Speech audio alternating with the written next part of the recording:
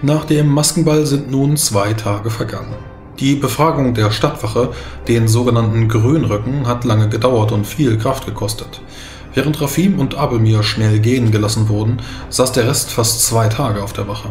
Die mögliche Anklage wegen Mord und Brandstiftung wurde schnell fallen gelassen, allerdings wollen sie alles andere von euch über diesen finsteren Kult hören. Ob ihr ihnen wirklich etwas verraten habt, bleibt eure Sache, doch dementsprechend lang hat es gedauert. Rafim und Abelmir waren unterdessen nicht untätig. Auf das Anraten von Keras haben sie die Exorzierung im Raya-Tempel geleitet und gemeinsam mit einem Swafnir-Geweihten, einem Soldat, dem Tempelvorsteher Flamingo und dem Golgariten Gernot von Mersing das Ritual vollzogen. Die giftigen Träume von Belkelel konnten euch nicht schrecken, wohl aber töten. Am Ende wart ihr gemeinsam erfolgreich und konntet Shanya Vultura zu Reton begleiten. Wir schreiben so den 20. Rondra 1028 nach Bosbarans Fall. Ihr befindet euch in eurem Palazzo auf dem Goldacker. Und so beginnen wir. Also die Wache hat euch ja ziemlich lange festgehalten. Was habt ihr denen denn erzählt? Also alles von der Armbrust halt. Ich glaube, Oh. sie sind dumm. Sie haben Fragen gestellt. Und dann haben wir die Fragen beantwortet und dann haben sie dieselben Fragen nochmal gestellt. Und nachdem wir sie dann ihnen nochmal beantwortet haben, haben sie jemand anderen geholt, der dieselben Fragen nochmal gestellt hat. Ich muss zugeben, ich habe vielleicht etwas ausschweifend geantwortet, als Sie mich nach meiner Geschichte gefragt haben. Also ich habe wirklich ganz am Anfang begonnen und hat dann etwas gedauert. Dreimal. Ich fand deine Geschichte interessanter, als dieselbe Frage noch einmal zu beantworten. Ja, ja, das ist in der Tat so. Ich habe ein illustres und schillerndes Leben hinter mir. Ja, Ich ja. denke, das größere Problem war, dass ihr alle was anderes gesagt habt und sie äh, deswegen verwirrt waren. Und ich habe ihm nur gesagt, dass Abel mir mal gesagt hat, dass sie diese Menschen umbringen müssen. Ja, Das haben ja sie- das hast du. Aber ihr Ja. habt eigentlich nichts verpasst. Also das war sehr ein angsteinflößend, aber alles gut. Immerhin waren ähm, bisschen gut. Sie haben sich schon äh, um uns gekümmert dort. War ja dann doch recht schnell klar, dass wir nicht die Missetäter sind. Naja, Nun ja, man musste ihnen natürlich auch noch ihre Fehler aufzeigen, dass sie einfach ein, ein solches Geschehnis in ihrer Stadt stattfinden lassen. Also, da hätte man doch ein bisschen mehr Sorge tragen können, gerade mit diesem Dämon. Also, der wurde ja mit Sicherheit irgendwo hergekarrt. Mir ist sicher, die Stadtwache ist für eure Kritik dankbar. Na, das sollten sie besser auch sein. Ich kenne mich schließlich gut mit solchen Dingen aus. Ja, ja, Isarun hat eine ganze Liste angefertigt. Und äh, ja, also ich denke, die Kritik war durchaus konstruktiver Natur, auch wenn die Stadtwache das ein bisschen anders gesehen hat. Zwei Fuß Pergament. Ja, Ich bin mir sicher, das wird viel bringen. Nun, zumindest gibt es jetzt keine Horusloge mehr, der die Wachen bestechen kann. Wie fürchterlich schade, dass ich diese Liste nie lesen werde. Oh, sie wird als großes isarunsches Reformpaket der Stadtwache sicherlich in die Annalen von Punin eingehen. das gefällt mir. Wollen wir es hoffen. Und in der Zwischenzeit, wie ist es bei euch so gelaufen? Genau, Aus- erzählt einmal. Es war furchtbar. Also ganz schrecklich. Ich war Abelmir? Wieso? Habt ihr gesungen? Nein, das haben wir nicht. Wir haben äh, die Papiere in ihrer gerechten Straße über, Strafe überführt. Natürlich vorher ihre Seele gereinigt. Sehr Mhm. gut. Nun, ähm, lassen wir es bei einem kurzen, äh, einer kurzen Geschichte be bleiben. Wir schafften sie in den Tempel, führten ihre Seele äh, den göttlichen Paradiesen wieder zu, lösten ihren Pakt, nun und gaben ihr dann einen, äh, einen Giftbecher, könnte man sagen, um nun ja, die Raya-Küche äh, zieht diese Methode der Hinrichtung vor. Ihr habt sie umgebracht? Natürlich. Warum? Wir haben sie nicht umgebracht, sie hat sich selber umgebracht. Und ihr habt ihr wohl das Gift gegeben. Wir haben all diese Mühe auf uns genommen, um sie dort herauszuholen. Und dann bringt ihr sie um? Ja, es aber ist diese eine Mühe hat sich Methode, doch um ihre Seele zu retten, musst du verstehen. Es ist, wenn man einen Pakt eingegangen hat und danach bricht, ist man äh, niemals auf äh, Dere sicher. Nur wenn man nun zu Huron geht und hoffentlich in eins der göttlichen äh, Reiche eingeht, kann man seine eigene Seele retten. Zudem hatte sie die Strafe verdient. Wer weiß, was sie in der Vergangenheit angerichtet hat. Dennoch Mensch. bete ich dafür, dass äh, Raya ihr vergeben kann. Es klingt alles in allem sehr einfach, was ihr erzählt. Es freut mich, dass es so gut gelaufen ist. Nun ja, es ist die Kurzfassung, wie gesagt. Bei Gelegenheit erzähle ich euch einmal die Langfassung. Von dem Traum willst du denen nichts erzählen, oder? Also ich glaube nicht, dass sie das verkraften, dafür sind die noch zu jung. Es klopft an der Tür. Ja, herein. herein! Ich mach Oh, selber die Tür auf. geh mir fort mit Träumen. Die bringen nichts als Unheil. Die Tür wird geöffnet und ihr erkennt jemanden, den, äh, den ihr seit kurzem erst äh, schon gesehen hattet. Zumindest Abelmir und Rafim haben ihn gestern erst gesehen. Die anderen das ist schon ein bisschen länger. Herr Gernot von Mersing, Schwingenführer der Golgeriten, tritt ein ähm, und äh, verbeugt sich leicht vor euch. Ah, exzellent. Tretet näher. Nun, Abelmir, ich habe dir schon einmal gesagt, und zwar gestern, dass die Anrede falsch ist, aber wie es mit den Anreden so ist, ihr solltet ihre allerdurchlauchtigste Hoheit dieses Mal korrekt ansprechen. Ich bin im Auftrag des Raben hier. Wollt ihr ein Bier? Nein. Äh, sollen wir sofort mitkommen? Ich bin mir nicht ganz sicher, aber wenn ihre allerdurchlauchtigste Hoheit nach mir verlangen würde, würde ich dementsprechend sofort aufbrechen. Ich glaube, wir sollen sofort kommen. Ja, Rafim, vielen Dank. Also damals bei Bade und Scheller war das auch so. Wir konnten auch nicht warten. Vielleicht liegt das ja in der Familie. Hm, Dann dann sollten gehen wir doch einfach. Ein Richtig. guter Punkt. Ich bin mir sicher, es wird interessant. So könnt ihr Gernot von Mersing einmal erneut Goldacker hinunter begleiten und dann den Weg in Richtung Tempelhof zurücklegen. Betretet erneut den großen Rabentempel von Punin und werdet dieses Mal nicht in die unteren Kellergewölbe geführt, sondern dieses Mal in das obere Stockwerk, wo ihr dann in einer kleinen Bibliothek nicht nur auf den Raben treffen könnt, sondern auch auf Königin Kronprinzessin Ohaya, die dort sitzt. In ihr Gesicht ist Härte geschrieben. Sie neigt das Haupt vor euch stumm zum Gruße. Wenn ihr allesamt eingetreten seid und die Tür geschlossen habt, erhebt sie sich, blickt euch an. Ihr könnt Dankbarkeit in ihren Augen lesen. Allerdings ist wohl in diesen starken Gefühlen noch irgendwas anderes verborgen. Ihr könnt Willenskraft erkennen, die Willenskraft einer Königin, vielleicht eine Spur Hoffnung oder Hoffnungslosigkeit. Zumindest eine ganze Menge in ihrem Blick. Wir müssen reden. Aber zum Gruße erstmal. Freut mich, dass ihr wieder gehen könnt. Das war doch nie das Problem. Äh, Ihr habt uns rufen lassen, euer allerdurchlauchtigste Hoheit. Womit können wir euch helfen? Wir müssen uns zunächst einmal bei euch bedanken, dass ihr uns gefunden habt, mich, meinen Sohn und auch den Söldner Gavin. Gavin selbst, bei ihm habe ich mich bereits bedankt. Er wird hier vor Ort bleiben und eine, eine Akolutenschaft bei den Boron-Geweihten annehmen. Allerdings müssen wir sicherlich noch einmal darüber reden, wie nun weiter fortzufahren ist. Denn die Zukunft des Reiches steht auf dem Spiel. Ich habe natürlich schon einiges darüber erfahren.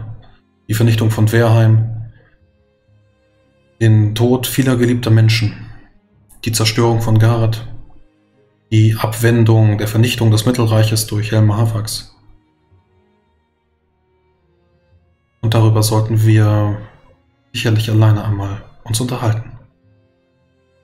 Ja, es ist wahrlich viel passiert, viel, das wir euch erzählen dürfen. Doch zunächst willkommen zurück. Weil könnt ihr erkennen, wie der Rabe äh, euch auch einfach nur noch zunickt und gemeinsam mit äh, dem Golgariten äh, werden sie ebenso die Bibliothek verlassen und euch dann hier alleine mit der ja, königlichen Königin ist sie ja sowieso schon, auf alle Fälle dann mit der kaiserlichen Kronprinzessin alleine lassen. Ist das die Frau, von der der fette Mann gesprochen hat? Ja, Bleibt es ganz gut. So, wir setzen uns jetzt einmal darüber und sprechen. Ich will auf jeden Fall warten, bis sie sich gesetzt hat, bevor ich, ich mich hinsetze. Mhm.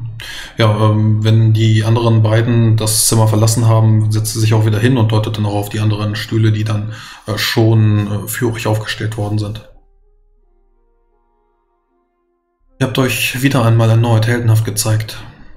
Nicht nur in der Schlacht vor Werham selbst, sondern auch den Berichten zufolge in Gareth. Auch habt ihr die schon zahl zahllose Male vorher getan. Ich muss mich also bei euch bedanken und ich kann dies nicht mit einer einzelnen oder einer weiteren Medaille oder einem weiteren Titel gut machen. Dennoch weiß ich auch, dass uns eine Zeit bevorsteht, in der viele weitere Schrecknisse auf uns zukommen. Die Gefahren sind noch nicht überwunden. Und ich möchte an dieser Stelle versuchen, gemeinsam mit euch ein etwas Licht in diese finsteren Lande zu bringen. Ein nobles Unterfangen, das wir vollsten Herzens unterstützen. Danke Es wäre uns eine Ehre. In der Tat, in der Tat. Das wäre es. Ich habe, also gut, wo fangen wir an? ich habe dereinst erfahren, dass mein Bruder mh, Kronprinz oder Prinz, kaiserliche Prinzlichkeit, diese Titel sind mittlerweile etwas schwierig. Der König von Almada, Selindian, wohl zum Kaiser gekrönt werden sollte und der einst Alara, meine Großmutter, ähm, auf dem Throne, auf dem Greifenthrone in weilt und ihn vertritt. Dies mag schwierig sein. Ich bin mir nicht ganz sicher, inwiefern sie meinen Anspruch weiterhin unterstützen mag, so ich dann wieder auftauchen, auch, auftauchen würde. Dennoch sehe ich es nicht, dass mein Bruder, so er doch von Boron selbst auserwählt wurde, fähig ist, auch in zwei Jahren nicht die Verantwortung dieses Greifenthrones zu tragen. Diesbezüglich, ja. Uns ist äh, gerade gestern, äh, vorgestern, sehr un beunruhigende Nachrichten diesbezüglich zugekommen, dass äh, er nicht ganz sicher hier in dieser Stadt ist und beeinflusst wird von Kulten, die, über die wir euch definitiv aufklären müssen. Ihr dürft freisprechen. Auch über die Verquickung im Horasreich und den anbahnenden Bürgerkrieg mit Timor und Aldare bin ich ebenso informiert worden. Und auch das bereitet mir Sorge. Was wisst ihr von dem Rattendämon, dem Güldenen, dem 13.? Wenig. Er wurde zwar behandelt, unter anderem von den ersten Magierinnen und Magiern, die dem Hofe vorstanden, aber auch ich habe wohl mittlerweile erfahren, dass, äh, dass die gute Kalle von Horsen Rabenmund äh, nicht mehr unter uns weilt. Nein, sie hm, ist einem unglücklichen Unfall zum äh, Opfer gefallen. Ihre Erinnerungen wurden ihr geraubt von Orbrat-Moskitos. Oh, oh, verzeiht, äh, Kiaras, da verwechselt ihr die eine Erzmager mit der anderen. Tu ich? Äh, Das ja, nicht, für die man Abel mir dann aus seiner Sippe geworfen hat? Ja, das war doch äh, Prischia oder wie? Vielleicht sollten wir mit einer Stimme sprechen. Äh, Isarun, bitte fahrt fort. Ist Prischa von Ganschgotz auch gestorben? Nein, Äh, nein. nur umnachtet. sie lebt, wurde aber durch einen Anfall äh, oder eine Attacke ihrer ein, eines Großteils ihrer Es- Erinnerungsvermögens beraubt. Und mir hat die Rakala von Erinnerung dann doch an diese Frau weitergegeben. Genau, und deshalb wurde er aus der Gilde rausgeworfen. Könnten wir weiterfahren? Äh, Fortfahren? Die Erzmager Rakala von Horsen-Radmund fiel vor Wehrheim. Wir haben sie auf Burg Alroalet bestattet. Oh ja, richtig. Das war doch die Frau im Tunnel, oder? Natürlich, ja. So, die ist tot. Sie hat uns geholfen, den äh, Dämonenkessel zu bannen, auf den wir, äh, ich weiß nicht, ob ihr euch erinnert, den Ansturm gemacht haben. Ich erinnere Und, mich. äh, Mein Gedächtnis ist uns wiederhergestellt. gerettet. Ja, sie hat uns gerettet und daher konnten wir den Tag und den Magnum Opus überleben, doch ähm, sie selbst fiel dem zum Opfer. Sie wird eine Statue bekommen und ihr Name wird nie vergessen werden. Wie geht es derweil Melvin? Melvin Störebrand. Nun, als wir ihn zuletzt sahen, war er wohl auf und an Leben.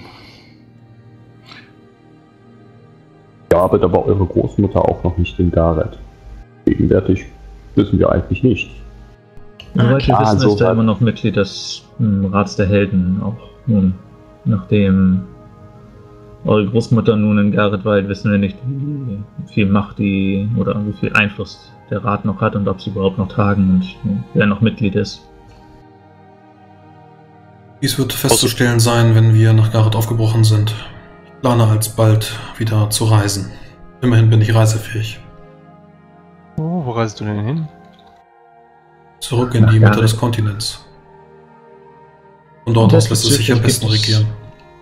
Diesbezüglich gibt es noch einiges zu hm, besprechen, denn nun aktuell ist unser größter Feind der schwarze Drache, wie ihr wisst. Und soweit wir wissen, sucht er nach euch. Oh, das ist die Frau, die ihr gesucht habt? Ja, Kaiserblut. Er braucht Kaiserblut für sein Ritual. Hallo? Sie haben sich wirklich viel Mühe um dich gemacht. Äh, Mendarion, warum setzt du dich nicht in die Ecke und äh, siehst hübsch aus? Hm, Die Ecke ist so dunkel. Das mit dem geht ans Zaubere doch Licht. Du kannst doch Licht zaubern, oder? Fenster in einem Bohrentempel. Setzt euch einfach ans Fenster, wenn ihr mögt. Nun, ich plane nicht, mich zu verstecken. Äh, Sicherlich mag Rassassor eine große Instanz sein, aber ich werde ihn nicht fürchten, sondern ich werde ihm mutig entgegentreten. Das finde ich gut. Jeder Drax muss vernichtet werden. Nun, Nicht, dass eure Idee nicht besonders schlau ist, aber eure Großmutter ist äh, Alanfanerin und wenn ich jetzt mal aus der Heimat berichten darf, wenn ihr da jetzt ohne Wachen auftaucht oder ohne Tro Getreue, dann werdet ihr vielleicht unglücklich verschwinden, wenn ihr versteht, was ich meine. Nicht, dass der guten Dame das unterstellen möchte, aber das könnte passieren. Habt ihr vielleicht noch irgendwie Verbündete aus eurer alten Garde da? Wie hießen die denn nochmal? Die Panthergarde. Genau. Davon bräuchten wir ein paar Jungs. Am Zunächst werde ich auf euch zurückgreifen. Natürlich könnt ihr das. Meine Sorge ist nur, dass, wenn wir euch zu früh der Welt zurückzeigen, dass wir euch nicht beschützen können, wenn der Drache entscheidet, nun, dass er sein Ritual beschleunigen will. Das heißt, wir hätten in Gareth, um euch zu schützen, mehr oder weniger umfangreiche Befugnisse. Auch gegen etwaige Festsetzung durch eure Großmutter. Problem ist, wir müssten erstmal dafür sorgen, dass die lokalen Truppen euch unterstützen. Was jetzt entweder einfach wird oder nicht so einfach. Ich weiß tatsächlich nicht, wie beliebt ihr im lokalen Volk seid und wie gut man euch erkennen wird. Ich bin die rechtmäßige Kronprinzessin des Reiches. Das habe ich auch nicht in Frage gestellt. Ich habe gefragt, ob man euch erkennt. Ich meine, da kann ja jeder kommen und sagen, ich bin Rohaya. Seht ihr, was ich meine? Ja, ja, ihr könntet das nicht, Rafin, aber ein Also, Also- wir, wir brauchen schon irgendwie, keine Ahnung, also seid ihr öfter mal auf Festen unterwegs? Na, wart ihr, aber das sind ja nur die Adligen. Habt ihr euch mal öffentlich gezeigt? Im Gegensatz zu meinem Bruder halte ich mich doch, doch für sehr volksnah.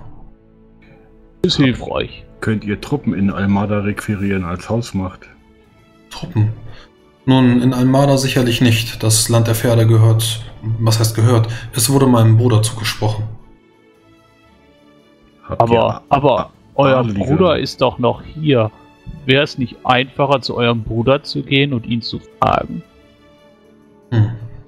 Eine gute Ja, Idee. Wir müssen uns auch darum kümmern, dass er in Sicherheit ist, jetzt da wir die Horus-Loge ausgelöscht haben und wohl niemand mehr Einfluss auf ihn hat, wäre es ein geeigneter Zeitpunkt, dafür zu sorgen, dass er in Sicherheit ist. Wenn wir einen kurzen Abstecher über Xorosch machen könnten, könnten wir ja ein paar fähige Zwerge mitnehmen, die euch sicherlich auch ähm, gut unterstützen könnten im Hinblick auf den Kampf, sowohl gegen den Drachen als auch naja, gegen andere unliebsame. Ich bin mir nicht sicher, ob der Bergkönig sich in die internen Reichsangelegenheiten einmischen würde.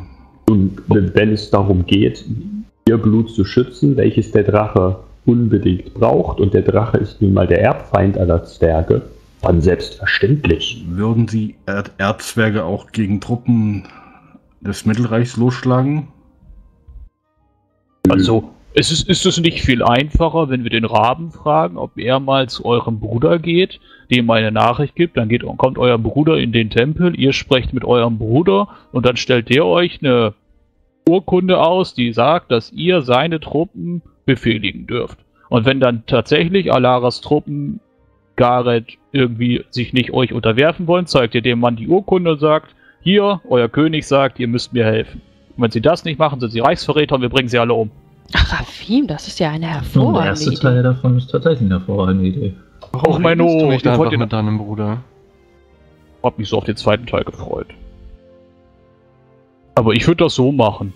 Nun ja, im Moment steht äh, Selinian halt tatsächlich nicht unter dem direkten Einfluss seiner Großmutter.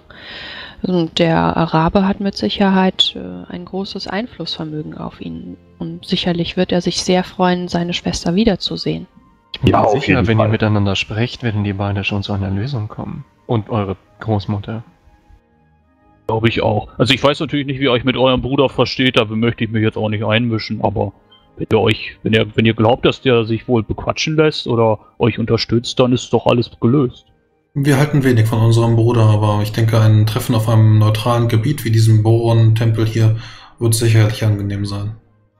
Glaubt ihr denn, dass euer Bruder Interesse hat, Kaiser des Mittelreichs zu werden? Ich habe ihn nur einmal getroffen und da schien er mir in ganz anderen Sphären zu schweben, wenn ihr versteht, was ich meine.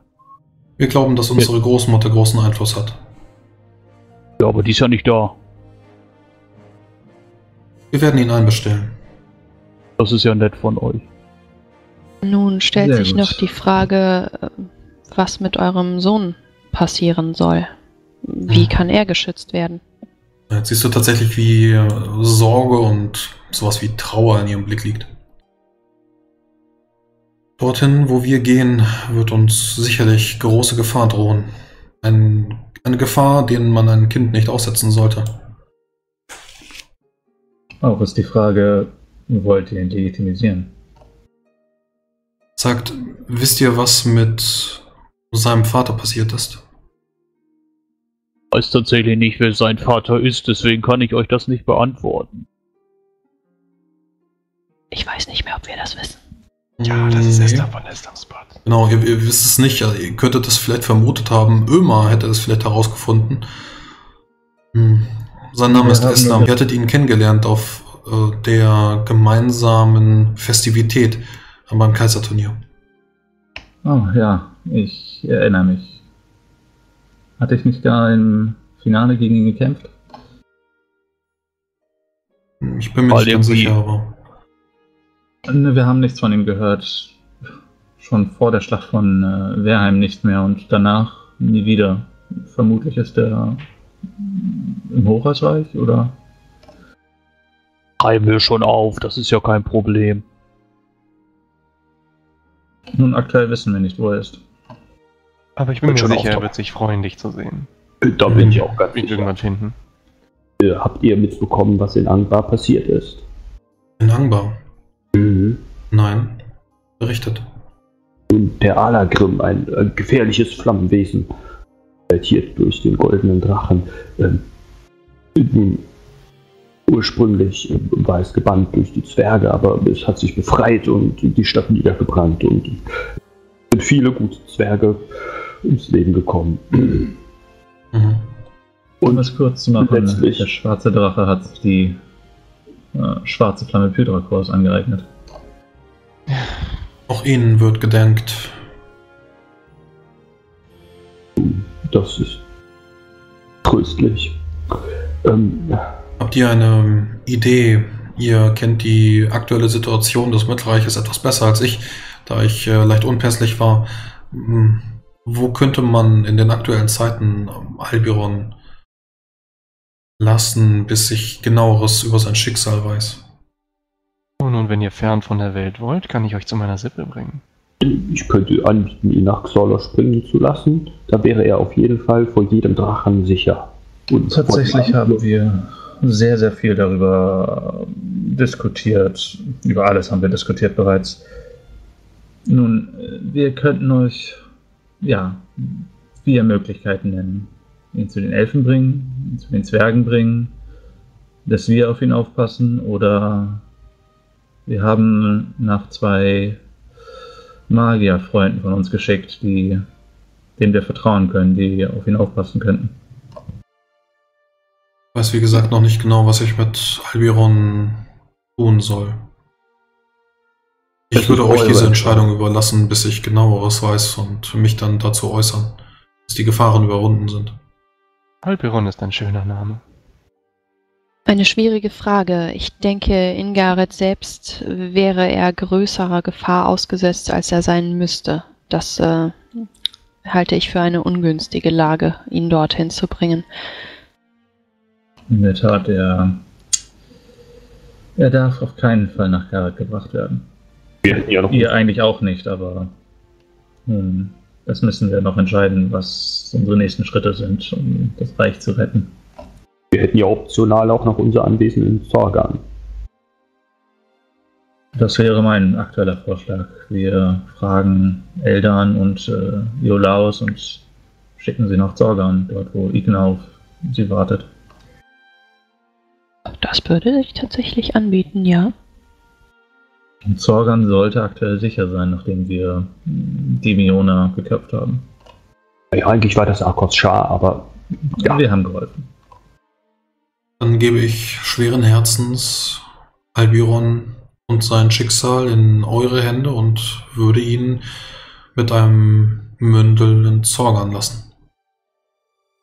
Wenn das Oronische Reich besiegt ist, dann hoffe ich, es, dass es dort sicher genug ist. Eine befestigte Stadt mit vielen Ebenen, fruchtbar und ein Hafen. Und die Villa ist direkt gegenüber vom Aya-Tempel. Ich werde auch an sie einen Brief schreiben, dass sie ein Auge drauf werfen sollen. Wir danken euch. Ich hoffe, dass mir die Entscheidung mit etwas Abstand leichter fallen wird, damit ich dann mehr zu ihm und seinem Schicksal erzählen kann. Also gut, ich werde meinen Bruder einbestellen. Wenn ihr mögt, könnt ihr warten in einem der Nebenräume oder aber ihr vertreibt euch die Zeit in Punin etwas anders. Ich weiß nicht genau, wie lange dies dauern wird, dieses Gespräch. Es wird sicherlich sehr anstrengend werden. Aber ich bin durchaus gewillt, entweder mit seiner Hilfe oder ohne seine Hilfe zurück nach Gara zu kehren.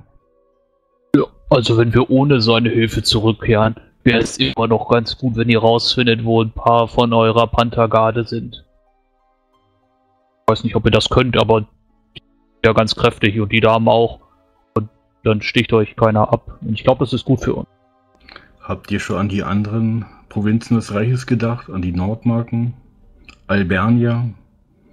Ob sie euch Truppen schicken? Ein jeder hat zumindest in der Schlacht von Wehrheim seinen Teil geleistet und so sie denn ihre Kräfte wieder gesammelt haben in den wenigen Monaten, so mögen sie mir, so sie denn rechtstreu geblieben sind, Truppen zur Verfügung stellen. Nicht nur für den Kampf gegen Answin von Rabenmund, sondern auch gegen den Kampf gegen den schwarzen Drachen. Ach ja, genau. Der sitzt übrigens vor, vor Berheim. äh, Beerheim, genau. Und der will den schwarzen Drachen darstellen. Diese Ehre, dieser Ruhm gebührt uns. Wir werden zunächst Answin töten und dann den schwarzen Drachen. Aber hat er nicht gesagt, dass, der, dass er weiß, wo man den Namen herbekommt? Von dem Drachen? Äh, Ja, wir müssten nach Wahrung gehen, um den Dra- Drachennamen ähm, in Erfahrung zu bringen. So war es doch. Genau. Äh, ja, er wollte diese Fexgeweihten dorthin schicken. Und was ist, wenn die den nicht finden können? Oder wenn sie sich verlaufen? Es sind nur Menschen.